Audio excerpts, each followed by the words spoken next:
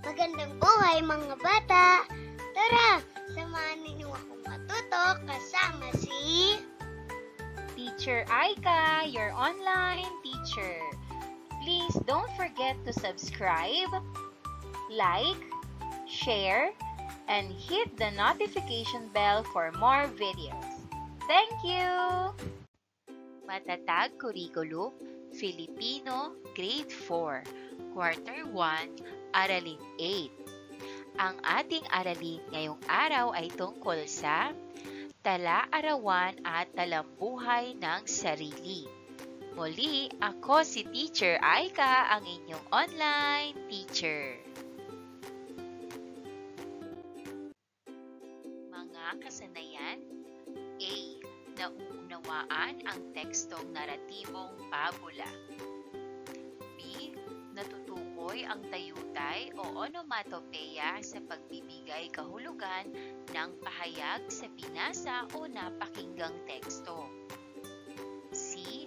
Nagagamit ang angkop na diksyon, kaangkupan ng salita o retorika at estilo sa pagpapahayag ayon sa Una, layon, magsalaysay at maglahad.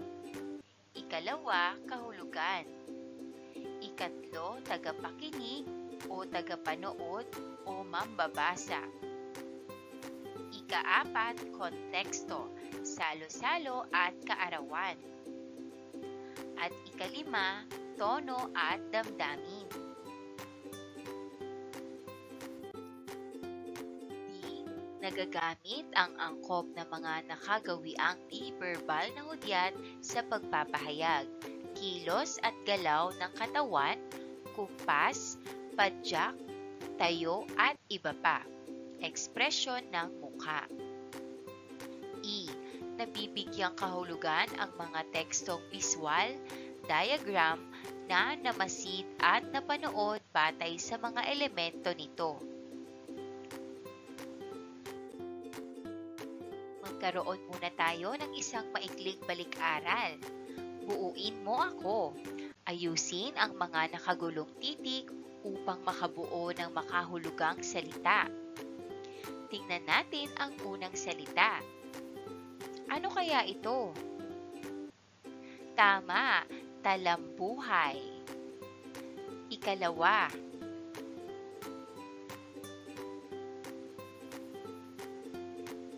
Tama, tala-arawan. Ano-ano ang mga salitang mabubuo sa mga ginulong titik?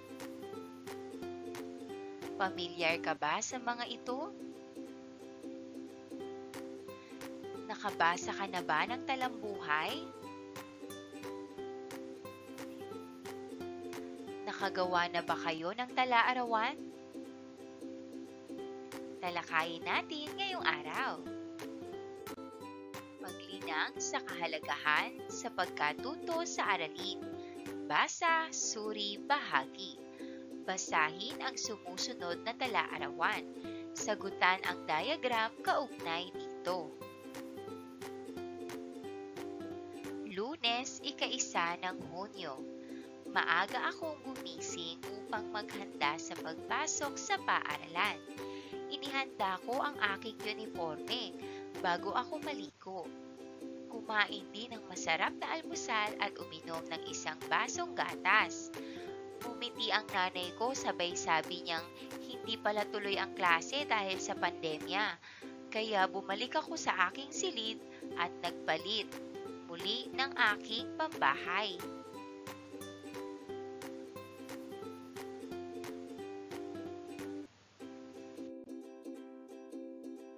Martes, ikadalawa ng Hunyo. Tinuruan ako ng ate ko na magluto ng masarap na hotcake. Natuwa ang aming magulang dahil marami kaming natutuhan sa panahon ngayon. Kahit wala pang pasok, tuloy-tuloy din ang aming pagbabasa ng mga babasahin na binibili sa amin ng aming magulang. Pero mas gusto ko pa rin ang gaya ng dati na ako'y nakakalabas ng bahay at nakakapunta sa paaralan at sa ibang lugar. Kaya Bago ako matulog, pinagdadasal ko sa Panginoon na mawala na ang COVID-19 at bumalik na sa normal ang lahat.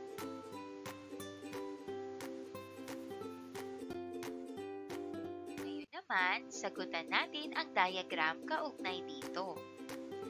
Mahahalagang pangyayari. Una, ika-isa ng Hunyo, maaga akong gumising at maghanda para sa paaralan. Ngunit natuklasan kong hindi pala tuloy ang klase dahil sa pandemya. Ikalawa, bumalik ako sa aking silid at nagpalit pambahay matapos malaman na walang klase. Ikadalawa ng Hunyo, tinuruan ako ng ate ko na magluto ng hot cake na ikinatuwa ng aming magulang.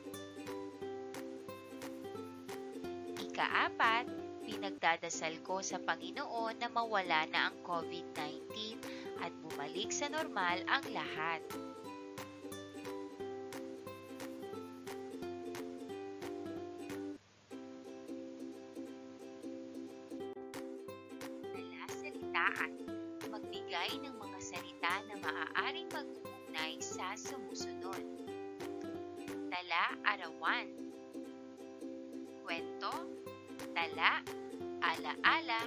Pagsusulat at personal.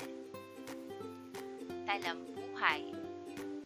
Kwento, buhay, kasaysayan, profile, o dokumento.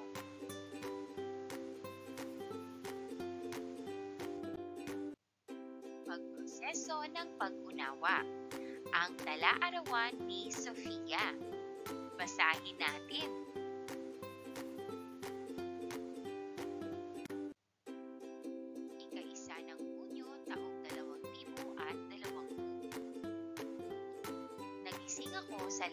Na tila pumutok na bomba. Dali-dali akong bumangon at lumabas ng aming bahay. Nagpupungkulan sa kalsada ang aking pamilya at mga kapitbahay. Hindi pala bomba ang pumutok kundi isang sasakyan na nilalamo ng apoy. May mga fire truck at police car na naroon. May mga pulis na nagsasaway sa mga taong gustong lumapit. May mga kalalakihan mula sa aming barangay na tumulong sa pag-abula ng apoy sa pamamagitan ng pagtigib ng tubig mula sa poso malapit sa kalsada. Ang iba ay pinauwi ng mga pulis dahil delikado daw ito. Umuwi na rin kami sa aming bahay dahil delikado daw ito. Umuwi na rin kami agad sa aming bahay. Nag-aalala ako sa maaaring maging dulot ng sunog sa paligid. Maitim ang usok at amoy gasolina ito. Paano na lang ang mga bata at matatandang may sakit na nakakaamoy dito? Maaari itong maging sanhi ng sakit lalo na sa may mga hika. Ipinagdasal ko na sana ay maampulan na ito at mawala na rin ang amoy na nanggagaling dito.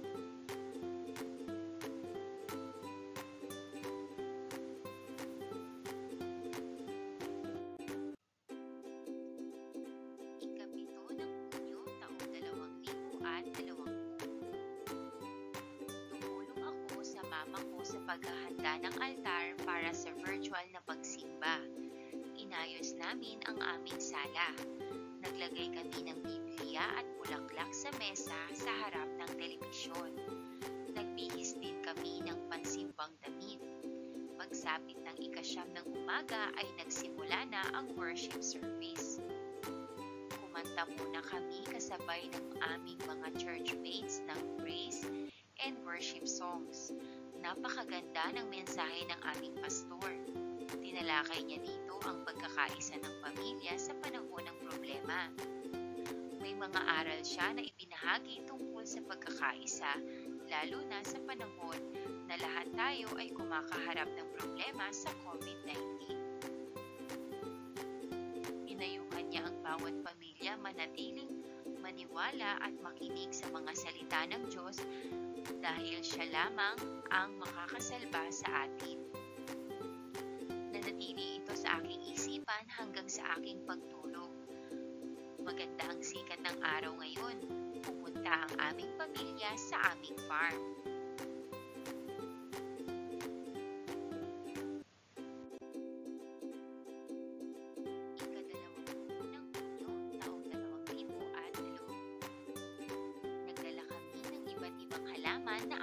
Aming itatanim. Mayroong iba't ibang puto ng gulay. Mayroon din kaming mga tanim na namumulaklak. Nakahanda na ang mga plat na aming pagtataniman. Kanya-kanya kami sa pagpili kung ano ang aming itatanim. Ang ate Erin ko ay piniling magtanim ng sunflower. Ako naman ay nagtanim ng pechay. Si Bunso ay talong ang pinili samantalang sina mama at papa ay ang palaya at mani. Si Kuya Intoy, ang tagabantay ng farm ay naghanda ng tubig para idilig sa halaman. Pagkatapos naming magtanim ay naghanda ang aming tita ng merienda.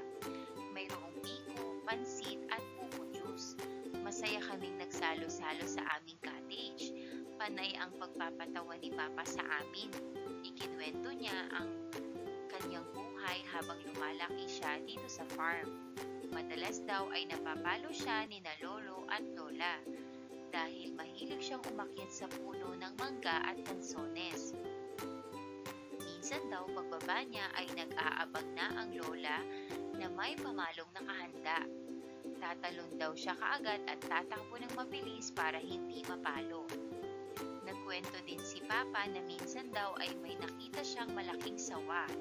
Sumigaw daw siya at naalerto ang ahas. Sa halip na tumakbo ang Papa, ay ang ahas daw ang lumayo. Kaya laking pasasalamat niya na hindi siya nakagat.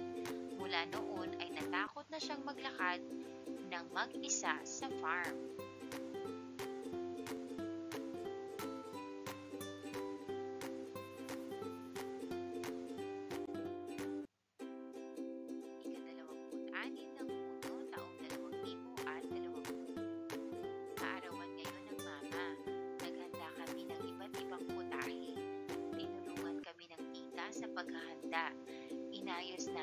Kahapon ang aming cottage. Naglagay kami ng mga logo, pabitin at malaking happy birthday na kulay dilaw. Si Papa naman ay nagpagawa sa kanyang kumare ng birthday cake. Pinalagyan pa niya ito ng pera sa loob. Pinagbihis namin si Mama ng kulay pang pulang damit.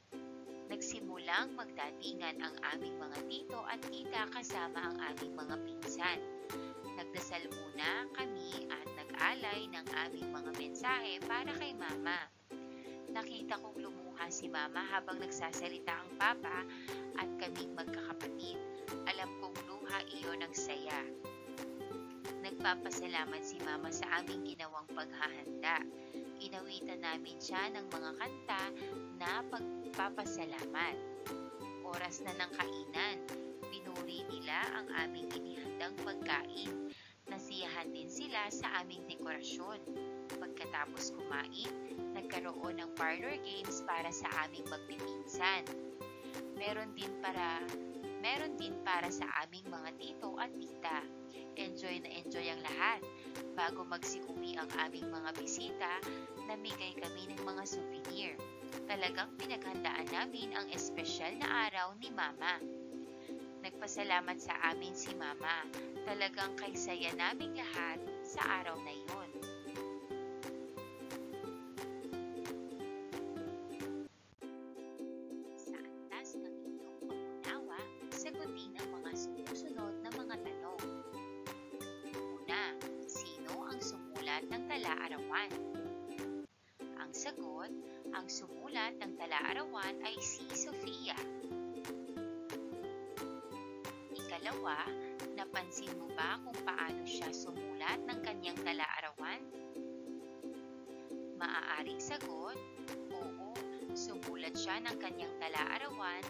Isang paraan na parang nagkukwento siya ng mga pangyayari sa araw-araw.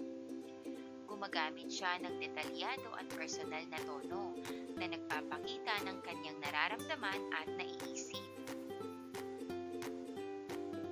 Ikatlo, ano ang nilalaman ng kanyang tala-arawan?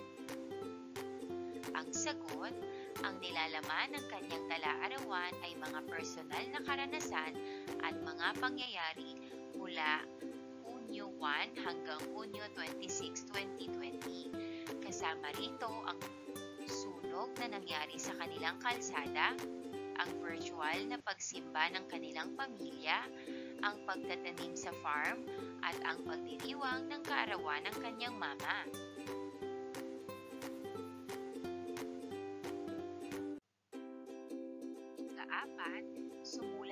Ba ng gaya nitong tala-arawan?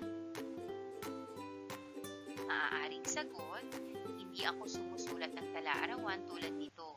Ngunit ako ay nagbibigay ng tulong sa pagsusulat ng mga tala-arawan, mga kwento at iba pang anyo ng pagsulat.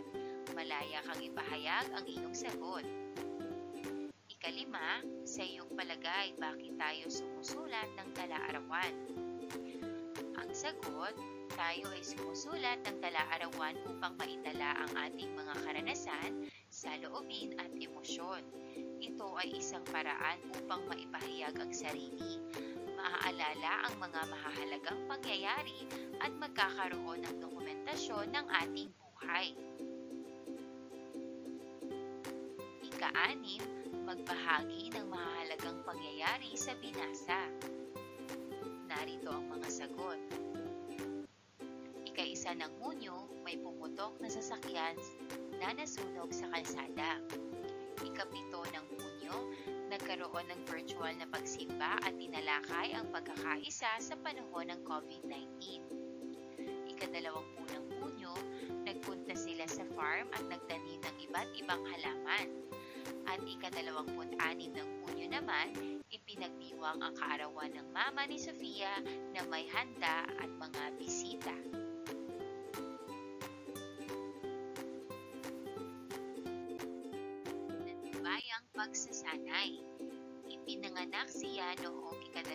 25 ng Disyembre. Apat na pung taon na ang nakalipas.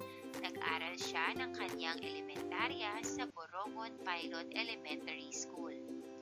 Nagtapos siya ng sekundarya sa Eastern Samar National Comprehensive High School noong 1996. Pinalad siyang makapasa sa University of the Philippines in the Visayas Tacloban College sa kursong Political Science. Maaga siyang nag-asawa sa ngayon negosyanteng si Emar Alan Grande sa edad na 23 at biniyayaan ng tatlong anak na sina Gail Ayon, Emery Nang isa sa isa pa lamang ang kanyang anak ay napagpasyahan niyang mag-aral muli. Kinuha niya ang kursong edukasyon sa St. Mary's College of Borongan.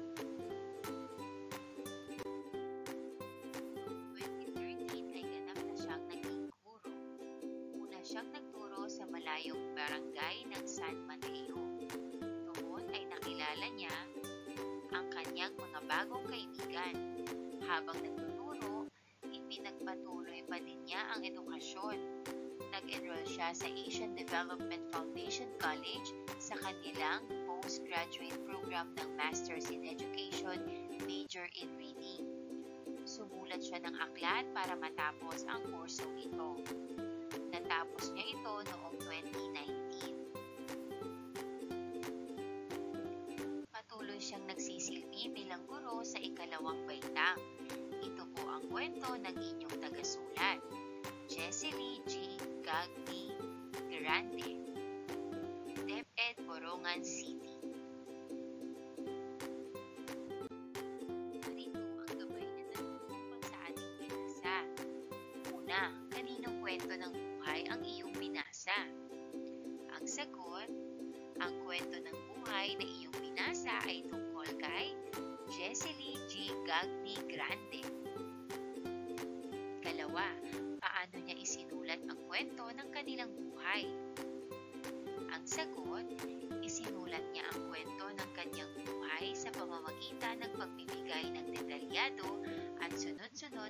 Pagsasalaysay ng kanyang edukasyon, pamilya at profesional na karera. Gumamit siya ng personal na tono na nagpapakita ng kanyang mga karanasan at tagumpay.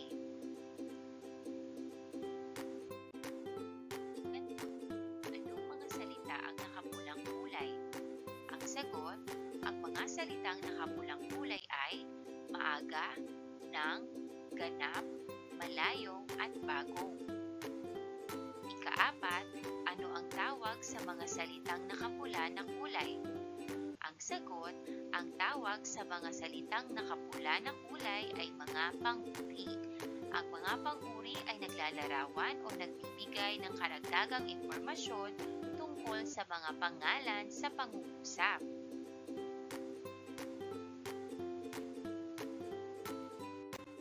Talakayin natin ang panguri. Ang panguri ay ginagamit upang maglarawan ng pangalan o noun sa Ingles o panghalip o pronoun sa Ingles.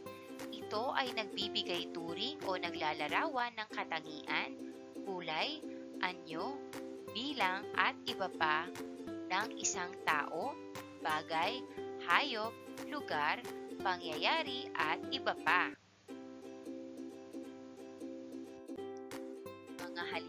Halimbawa ng panguri. Maganda. Ang maganda ay naglalarawan ng isang bagay, tao, hayop o lugar. Halimbawa, ang maganda niyang mukha ay hinahangaan ng lahat.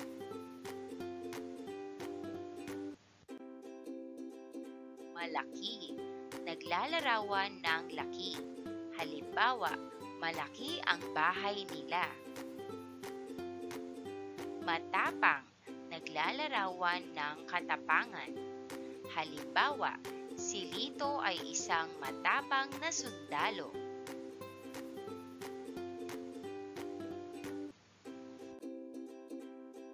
Ano naman ang pang-abay? Ang pang-abay naman ay naglalarawan ng pandiwa o verb sa Ingles, pang-uri, adjective naman sa Ingles, o kapwa pang-abay. Ipinapakita nito ang paraan, lugar, oras, sanhi at antas ng isang kilos o katangian. Para naman sa ating pinatubayang pagsasanay, tukuyin sa pangungusap kung ang salitang ginamit ay pangpuri o pang-abay. Number 1. Bukas ay aalis kami ng bahay. Sagot, bukas at ito ay isang pang-abay. Number 2, sa paaralan kami nag-aaral ng mabuti. Ang sagot, paaralan at mabuti. At ang mga ito ay pang-abay. Number 3, masigla ang mga tao tuwing piyesta. Ang sagot, masigla. At ito ay pangpuri. Number 4, masiglang sumasayaw ang mga tao sa piyesta. Ang sagot, masiglang. At ito ay pang-abay. Number 5, ang guro namin ay mahusay magpaliwanag ng mga kababalaghan. Ang sagot, mahusay. At ito ay pangpuri.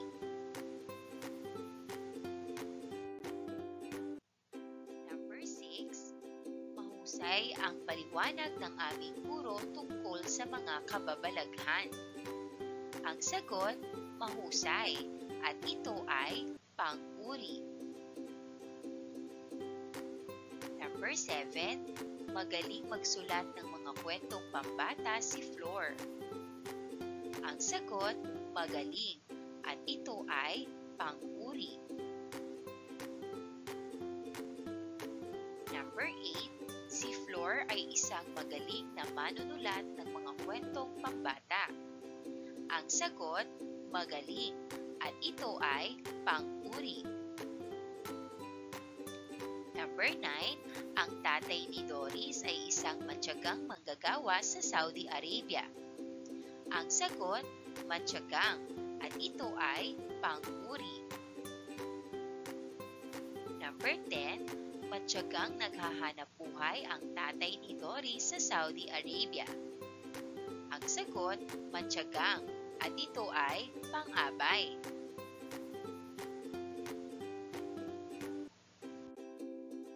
Para naman sa ating pabaong pagkatuto, magkumpara. Ibigay ang pagkakaiba at pagkakatulad ng tala-arawan, talambuhay at anekdota. Isa-isahin natin ang pagkakaiba at pagkakatulad ng tala-arawan, talambuhay at anekdota. Tala-arawan, pagkakatulad, personal na pagsulat ng mga karanasan at nararamdaman. Pagkakaiba, isinusulat araw-araw para sa sarili, hindi nakatuon sa ibang tao. Talambuhay, pagkakatulad, nagsasalaysay ng buhay ng isang tao. Pagkakaiba, detalyado at sumasalaysay ng buong buhay ng tao at para sa iba. Anekdota, pagkakatulad, nagkukwento ng isang tiyak na pangyayari. Pagkakaiba, maikli at nakatuon sa isang partikular na kwento, maaaring nakakatawa o nagbibigay inspirasyon.